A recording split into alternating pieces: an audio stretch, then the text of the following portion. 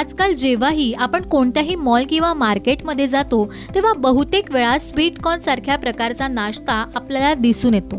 कारण चविष्ट असण्यासोबतच त्यात जीवनसत्वे आणि खनिजेही पुरेशा प्रमाणात असतात. Sweet कॉर्नमध्ये B one vitamin B five vitamin C phosphorus manganese folate आणि डायटरी फायबर भरपूर प्रमाणात असते. स्वीटकॉर्नचा उपयोग खूप साऱ्या पदार्थात केला जातो. जसं की sweetcorn soup sweetcorn paratha fried rice इत्यादी पदार्थांमध्ये केला जातो. याला बाजारात मोठी मागणी आहे. त्यामुळे स्वीटकॉर्नचा व्यवसाय सुरू करणे खूप फायदेशीर ठरू शकते. तर आज आम्ही तुम्हाला फ्रोझन स्वीटकॉर्न व्यवसायाबद्दल सांगणार आहोत.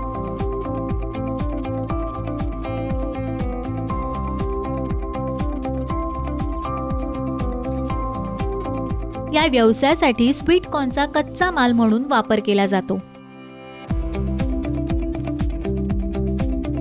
यंत्रे. या व्यवसायात जी यंत्रे वापरली जातात ती या प्रकारे आहेत.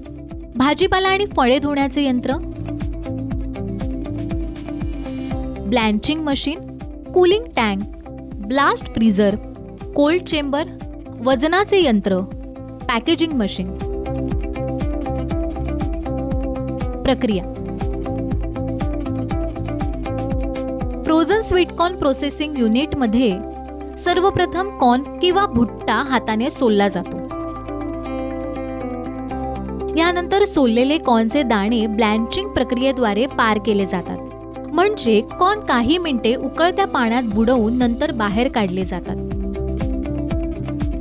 ब्लँचिंग प्रक्रियेनंतर ते कुलिंग टँकमध्ये थंड केले जातात.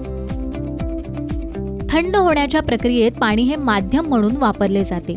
म्हणून ते काही काळ कोरडे होण्यासाठी ठेवले जाते.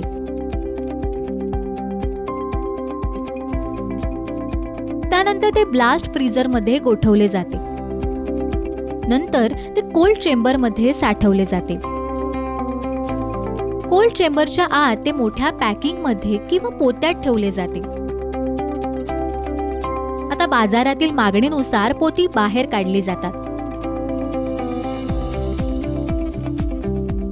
पोत्यांना उघडून त्यातील गोठलेले स्वीट कॉर्न हाताने वर्गीकरण आणि वेगळे केले जातात. यानंतर वजनाचे यंत्र वापरून दोनशे ग्रॅम पाचशे ग्रॅम आणि एक किलोच्या पॅकिंगमध्ये पॅकेजिंग मशीनच्या सहाय्याने पॅक केले जातात. आता हे फ्रोझन स्वीट कॉर्न बाजारात विकण्यासाठी तयार आहेत. शीतगृहांच्या द्वारे त्यांचा पुरवठा बाजारात केला जातो. मनुष्यबळ.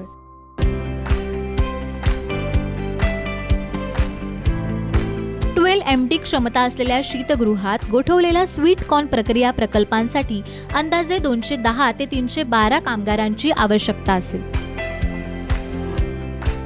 ज्यामध्ये मका काढणीच्या हंगामात दोनशे ते तीनशे मजूर मका सोलण्यासाठी कंत्राटी पद्धतीने कामावर ठेवले जातात. उर्वरित दहा ते बारा लोक प्लांट ऑपरेशनसाठी नियमितपणे आवश्यक असतील. क्षेत्र. क्षेत्राबद्दल बोलायचे झाले तर जो प्रकल्प आपण व्हिडिओमध्ये बघत आहोत तो प्रकल्प एक मोठ्या स्वरूपातील प्रकल्प आहे. हा संपूर्ण प्रकल्प पाच हजार चारशे चौरस फूट क्षेत्रात बांधण्यात आला आहे. तुम्हाला हा व्यवसाय लहान प्रमाणात सुरू करायचा असेल तर तुम्हाला तीन हजार ते चार हजार चौरस फूट क्षेत्रफळ लागेल. विद्युत पुरवठा. या प्रकल्पामध्ये पूर्ण प्रक्रियेसाठी पाचशे चाळीस किलोवॅट विद्युत ऊर्जेची आवश्यकता आहे. त्यापैकी थंड करण्यासाठी दोनशे तीस किलोवॅट विद्युत भाराची आवश्यकता आहे. हा व्यवसाय अल्प प्रमाणात सुरू करण्यासाठी तुम्हाला बारा ते चौदा किलोवॅट विद्युत ऊर्जेची आवश्यकता असेल. गुंतवणूक गुंतवणुकीबद्दल बोलायचे झाले तर तुम्हाला हा व्यवसाय तुमच्या स्वतःच्या जमिनीवर आणि पायाभूत सुविधांवर सुरू करायचा असेल तर तुम्हाला अंदाजे अडतीस लाख ते चाळीस लाख रुपयांची गुंतवणूक करावी लागेल. नफ्याबद्दल बोलायचे झाले तर या प्रकारच्या युनिटमधून तुम्ही ऑफ सीझनमध्ये साधारणत अठरा टक्के निव्वळ नफा सहज मिळवू शकता.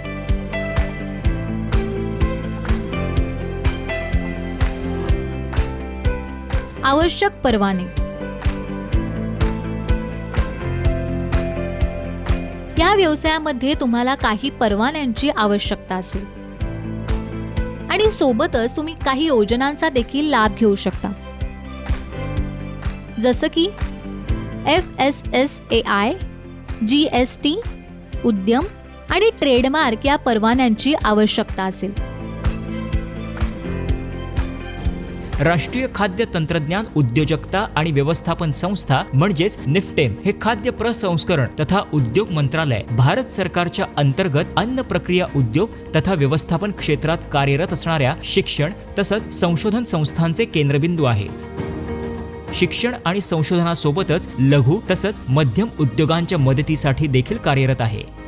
भारत सरकारच्या खाद्य प्रसंस्करण मंत्रालयाद्वारे नुकतीच प्रधानमंत्री सूक्ष्म खाद्य उद्योग उन्नयन योजना म्हणजेच P M F M E योजनेला सुरुवात केली आहे. खाद्य प्रसंस्करण उद्योग मंत्रालयाचा अन्न प्रक्रिया उद्योग करू इच्छिणाऱ्या व्यावसायिकांना त्या क्षेत्रातील मदत करण्यासाठी विविध योजनांद्वारे अवगत करण्यासाठी सातत्याने प्रयत्न करत असते. P M F M E योजनेअंतर्गत आपल्या उद्योगांना चालना देण्यासाठी कार्यरत असणाऱ्या सूक्ष्म अन्न प्रक्रिया उपक्रमामार्फत प्रक्रिया उद्योगांना भाग भांडवलाकरता बँक कर्जाशी निगडीत एकूण पात्र प्रकल्प खर्चाच्या पस्तीस टक्के अनुदान दिलं जातं. ही रक्कम जास्तीत जास्त दहा लाख रुपये असेल.